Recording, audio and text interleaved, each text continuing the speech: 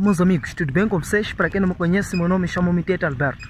Falo de Moçambique, especificamente aqui na cidade de Dondo. A cidade de Dondo localiza-se no centro do país. Então, meus amigos, no vídeo de hoje decidi levar minha esposa para irmos no shopping ou no supermercado.